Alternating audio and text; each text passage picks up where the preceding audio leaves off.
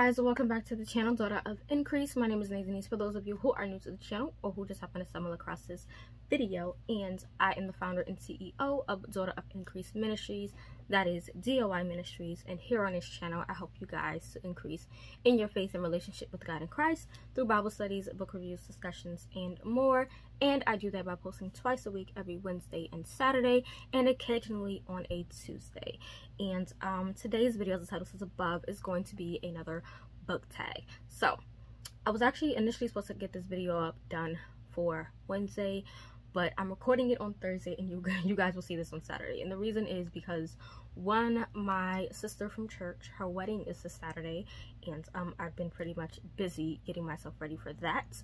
And um, yeah, so the day that you're seeing it is her wedding day and I am a bridesmaid in her wedding. And so yes, I'm super, super excited for that. So I had a lot of stuff to get done. Two, um, issues with my back. yeah, Saturday my back started hurting again and so I've been dealing with that. It has gotten a little bit better um as of today today would technically be day five yeah today will be day five but it's not as bad. Um i did go and get my nails done and my, my pedicure as well for um the wedding. And so yeah. And what was the third thing? Oh the third thing sorry is that i'll actually be leaving on sunday. So the day after the wedding i'll be leaving to go down south for an entire week. Um and so yeah it, it's it's been laundry it's been cleaning my room it's been packing it's been everything. And so doing all that plus the pain in the back trying to record was like it was on my mind but it wasn't like the first thing on my mind so i'm making the video today on thursday but you'll see this video on um saturday and after i actually record this i'm going to record an annotate with me video so that video will be posted up for next wednesday and um yeah so book tag i enjoy making these i hope you guys enjoy watching them and get new books and so i saw this from lindsey from the bfcg books for Christian girls. Yes. Okay. So I watch her channel. She is such a sweet young lady. She reads a lot of clean romances and she tries to find books that's going to be suitable in the Christian genre for younger girls as well as adults because she is an adult now. And so I saw her do this tag and I said, ooh, let me try it. Let me try it. And so here we are. Um, it's basically five questions. Five, four, three, two, one, clearly. Um, and so the first one is five latest five-star reads or five books that you love. And I mean, I could talk about five books that I love, but we're not gonna do that because if you've been following me for a minute, then you know what my like top ones are. I will do an updated favorites because I think a few books have been changed. But I'm gonna do my five latest five stars. Now, I honestly don't have that many. Um, I have three from this year and two from last year. Um, but I also have another book because one of them is a nonfiction and so I'm not going to really include that. I guess I'll show the nonfiction. So the nonfiction that I gave a five-star rating to was The Emotionally Healthy Woman by Geri Scazzero. Um, this book, you guys, was stunning from beginning to the end. I have the study guide, which the study guide isn't honestly as useful. I think if you have the DVD videos, then it would be great, but I'm not finding too much use of the study guide. But this here it was awe-inspiring. It was eye-opening. It was biblically sound. It was amazing honestly and i could relate to everything um, i did get a chance to watch the first video because i do have it for free. Um, if i can find it i'll link it down below. Um, and it made me cry just listening to geri's story. And i do know her husband's peter scazzero because he wrote the emotionally healthy leader and the emotionally healthy church. And so i was excited to see that they had this book. And this book goes through different things that women need to quit saying right? And so there are chapters such as hold on Quit being afraid of what others think. Quit lying. Quit dying to the wrong things. Quit denying anger, sadness, and fear. Quit blaming. Quit over functioning. Quit faulty thinking and quit living someone else's life. The one that really triggered me the most was the quit lying because within that chapter she talked about silence and I definitely am the type to remain silent um, if I feel like I am being attacked silent. If I feel like someone hurt my feelings silent. I, I just go silent and it's a habit that I pretty much kind of trained myself to have from what happened in the past. And um, she talked about how silence is a form of lying because if you're not speaking up then you're letting that truth of whatever is being said be the truth when it's really not the truth and you're lying to yourself and you're lying to other people. That triggered me you guys. It triggered me all the way. Um, and yeah i really just enjoyed this as well as the quit denying anger sadness and fear one thing i tell people when they ask me um, you know how i got to the place that I am is that I didn't deny my feelings, especially with the breakup, because a lot of people are like awestruck that I'm like over it. Um, I didn't deny what I felt. If I was angry, I was angry. I let God know. If I was sad, I let God know. I still have those moments where I get angry and I get sad, and I let God know. I deal with those. I don't hide from them. I don't run from them. I don't deny them. And so that chapter was great. But um, yeah, this was probably my one five star uh nonfiction so far that I've read this year. And I've read quite a few nonfictions, but this one it, it slaps. It's, it hits. It slaps. It's bomb.com. Definitely, if you can, I highly suggest you check this out because this is so good. I might honestly do a book club on this. If you guys are interested in that, let me know in the comments um, about a book club because this book right here, I, I feel like it needs to be read and discussed um, with many women. So this one was a go. Okay, but moving on to the fiction books because you know we got to do fiction, right? So the first one, top hands, top hands down. The first one, hands down, in such a Prince by Miss Toni Shiloh. Um, um, can we just this got a five star so i read this february 2022 this was the first five star i gave and this book was it it it was glorious. Now i do have an arc of the sequel which is to win a prince and i have two copies of that coming possibly three actually. Um and so yeah i am i'm stoked. I am stoked. Expect a reading blog for this, or well, a reread reading blog for this and for the sequel because we got to talk about it. I don't know what just happened with the sun. The sun just went away. I apologize. But, but yeah, In Search of a Prince is absolutely amazing. It is a contemporary romance about Brielle who finds out that she is actually the heir to an island on the coast of Africa and it's a family, it's family drama. There's romance, of course, and I swooned for the romance, um, the friendships. Let me just say the faith aspects in this book. Toni did such a phenomenal job, you guys. Like, I admired Brielle and her prayer life. Like, even her friend, like, we love to see it. And so you got to see a little bit of mommy daughter drama. Was enjoying that too, not gonna lie. Um, but yeah, this definitely hands down was the first five star I gave for the year. And then following that, I gave Jerusalem's Queen by Miss Angela Hunt, which is the third uh, third book in the Silent Year series. And I had already loved this book from the cover, and so I was hyped when it was a five star read. We loved it. Um, this one follows Salome and uh, oh, what is her name? Is it Kissy? I gotta find out the girl's name. Yes, Kisa. Sorry, Kissa. Kissa. So it follows Salome and Kissa. And um, this Salome was such a just mindful person. Is that even the word to say? The way that she thought, the way that her mind worked, the way that she loved scripture was amazing. Um, especially her being a female. Didn't really care for her family. Not gonna lie, her family kind of like pissed me off. But um, yeah, just watching her go through life and um really try to stick to the word, but also then see her turn the word into something completely twisted. It it's hard to explain. You have to watch my uh series Wipeout to fully understand. So watch the series Wipeout where I talk about this book and you'll get my points because I don't want this video to be too long. But this definitely was the second five star read that I gave for the year. Okay. Following that, um I gave Deadfall. Deadfall. So this was back actually in to 2021. So I only had two five-star reads for 2022. But yeah, going into 2021, because it says the five latest five stars, right? So we got to go to 2021.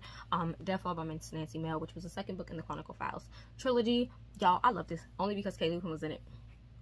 Only because Kaely Quinn was in it, okay?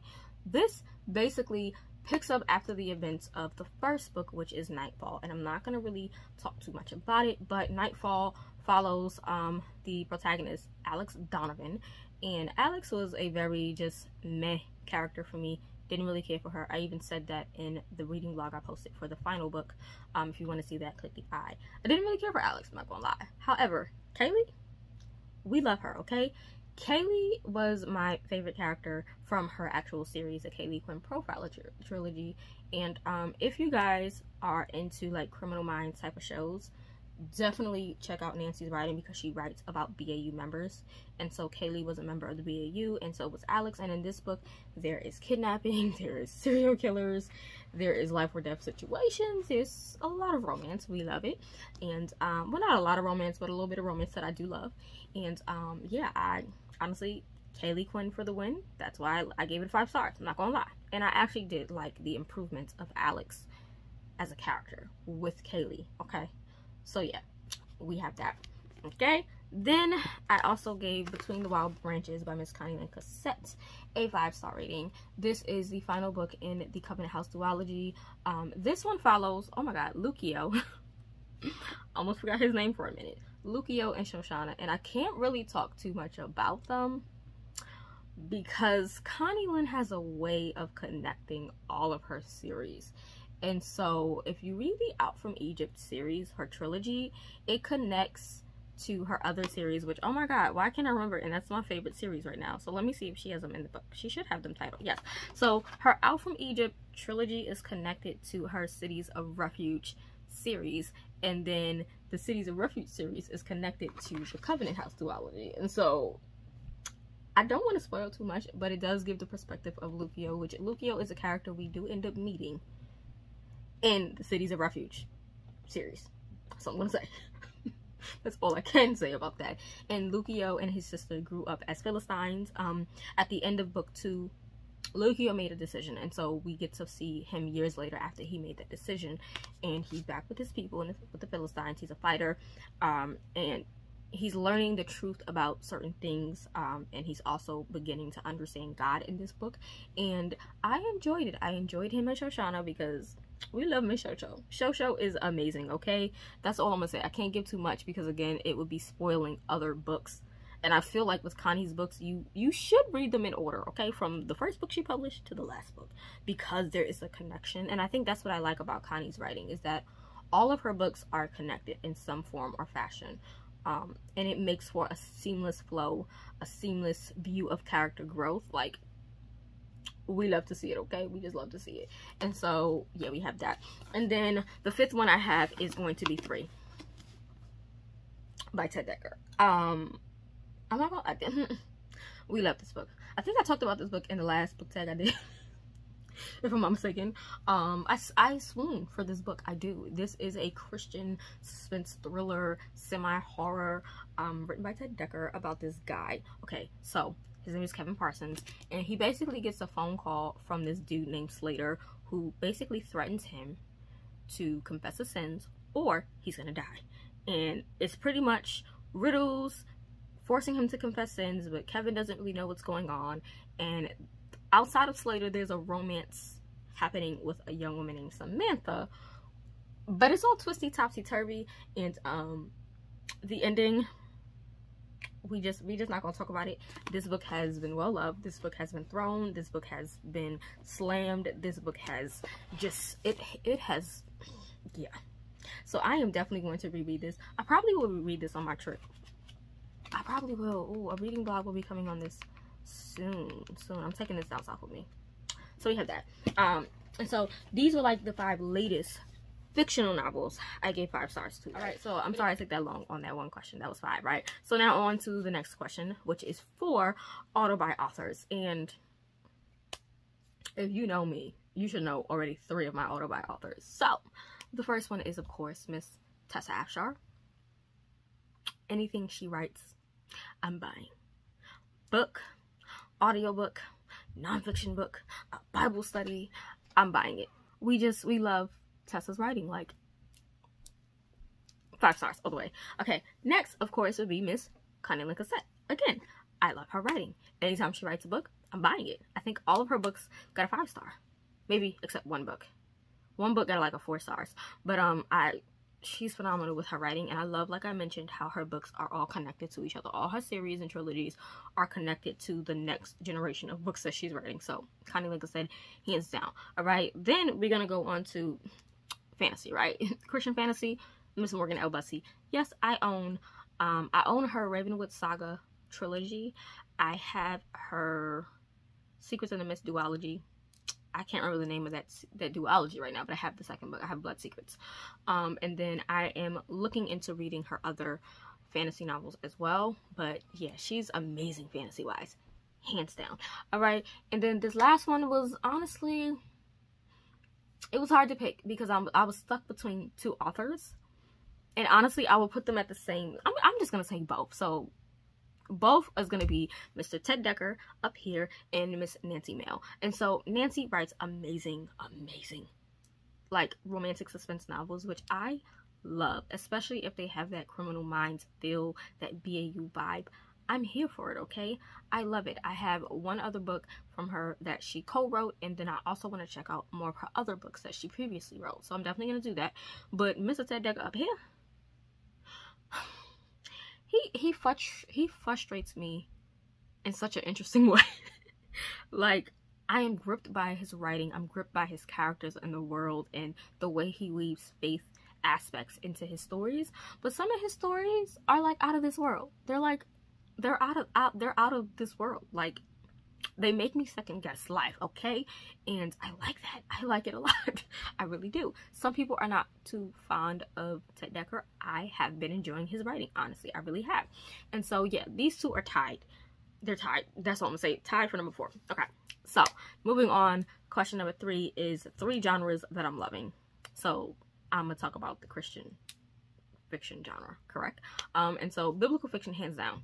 I mean, if you got anything about the Bible, and a fictional story, give it to me. I'll, I'll read it. It, it. Just put it on a platter and I'm good, okay? I'm good. Next, Christian fantasy. I'm a fantasy lover. Like, if I had to pick a genre of all the books that I like, fantasy. I, I am a fantasy lover through and through. Um, that's just me. You guys have seen all my other, like, books behind me on that those shelves. Fantasy books, most of them. About 90% of my collection is fantasy. Just saying. And so, yeah, Christian fantasy for sure. But I haven't honestly read that many Christian fantasy novels. And so I do want to read more Christian fantasy. Um, I definitely want to dive more into that realm and finding new authors and new books.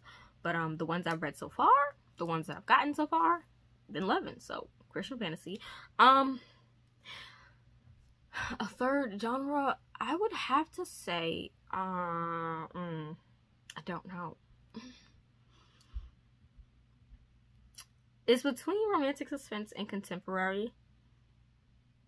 But I'm gonna have to say romantic suspenses because I like those action scenes, the drama scenes, and I also love the mix of the romance. And I don't mean the romantic suspenses was mainly suspense and a little bit of romance. Like you gotta have a good balance, okay? A good balance of drama, suspense, thrills, and romance, okay? Though I do love contemporary romances, um, I'm not gonna lie, in the Christian fiction genre, I don't care too much for it. Um, I do prefer to read contemporary romances that are like secular books. That's just because that's what I like. But the ones I have found and the ones I've had read, like from Toni Shiloh and from Terry Ferris, those are literally five star reads for me. Like to In Search of a Prince by Toni Shiloh, five star read. And the Restoring Heritage trilogy from Terry Ferris, five star read. Both books or series are um, contemporary romances, but I haven't read that many contemporary romances that I've enjoyed, whereas I've read quite a few romantic suspenses. So definitely biblical fiction, fantasy, and romantic suspenses. Favorite genres um, that I'm loving. So the next question is two places that I love to read right here in this chair in my bed. Um, those are the only places that I can read right now in the house. so, I would say my porch, but you know, with lantern flies being out there, yeah, it's not a thing for me. No, mm -mm. no, I, I, don't like lantern flies. Um, not at all. So, yep, this chair that I'm sitting in right now, and also my bed. But yeah, those are the two places. And then the final one is one book I promise to read soon. That is definitely To Win a Prince by Miss Toni Shiloh. I'm gonna read this book, y'all. I need to know what happens next for Brielle's uh, friend. I need to know how Brielle is living. I need more. Right here. This one right here. Definitely hands down the next one I'm reading. Hands down. Don't care. Next one I'm reading. Um, well, not the next one I'm reading because I have to record it for a reading blog and I don't want to read it too early because it comes out in. Oh, I know it's coming out next month. Ooh, maybe I can read that. Hmm, I think I have the books that I'm taking with me down south. It just might happen. but yeah, definitely hands down next. Um, for sure, for sure. But um, yeah, that is it for this tag. I tag anybody watching this video who wants to do this tag. I ain't gonna shout you out. Anybody that watches this video and want to do this tag, please do it. Please do it, okay? I don't care if you're a Christian booktuber. If you're a regular booktuber, do the tag. If you have books, if you want to kind of do it on like Instagram and tag me, put it on Facebook and tag me, do it. I want to see more people doing this tag. And I thank Lindsey for doing the tag. Um, again, she did not tag me. I just watched her video and was intrigued by the questions and decided to do it. And I thought it was a quick video that I can make for you guys. And so, yeah, that is it. I hope you guys found some new authors. I hope you guys found some new books to read, possibly. Don't get me. Um, and I think that's it for now. So I'm going to go. Um, if you got to the end of this video, put up this emoji. Not sure what emoji it is right now. I never do until I go to edit. So whatever emoji is right here, put that emoji so that I know that you got to the end of this video. And I will see you guys in the next one. Bye.